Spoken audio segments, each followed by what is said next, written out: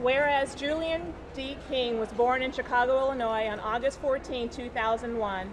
Jennifer Hudson just couldn't hold back the tears. A mayoral proclamation naming this Julian King Day in Chicago. Julian would have been 11 years old today, but in 2008 he was murdered, along with Jennifer Hudson's mother and brother. William Balfour, ex husband of Jennifer's sister, was convicted of triple homicide.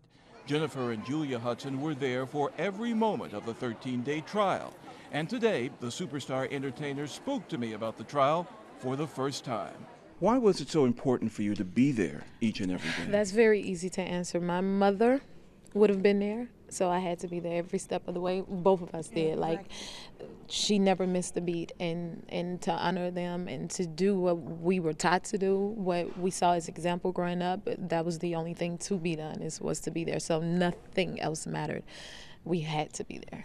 For the second straight year, through a foundation named for Julian, the Hudson sisters distributed school supplies to needy kids at the Kroc Center in West Pullman to honor Julian's memory to have a vision and then to see it manifest and, and happen and then to see so much beauty and love come from it that that's our ultimate goal. Now the sisters want to turn the Englewood home where their mother, Darnell Donerson, was murdered into a shelter for single women and children. We want a transitional house where they come and we stay. We help them get on their feet. Are things beginning to get back to normal for you? I feel like as though we have like a, a new beginning, and it's it's it's it's beautiful. You know, we're still blessed, and I mean, we've had our loss, but um, we're finding our way.